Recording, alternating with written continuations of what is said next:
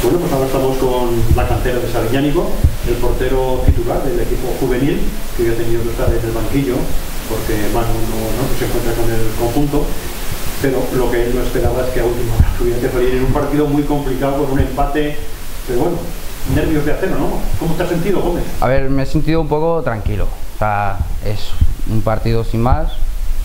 Siempre hay que estar ahí por si puede pasar algo y ayudando al equipo. Pero también piensas, y si salgo ahora y me meten un gol, ¿o no lo has pensado? No, o sea, es vivir el momento poco a poco y si pasa, pues pasa y a remontar y cabeza arriba y, y ya quedará tiempo. ¿Y cómo te has encontrado con el primer equipo ahí como? Me he sentido a gusto, arropado por mis compañeros y siempre intentando ayudarlos.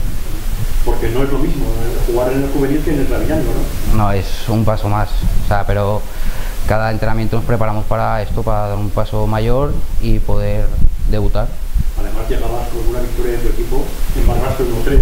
Sí, un- por- porque tienes que estar con el Xavi.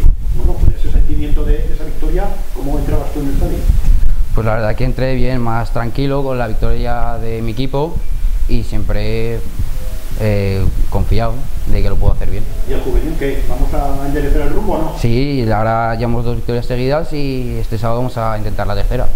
Pues nada, que tengas muchísima suerte y que poco a poco te consideres con, con tu equipo y con el Sabiñánigo, porque el día de mañana, de momento, la trayectoria es la tuya, ¿eh? ¿Quién sabe?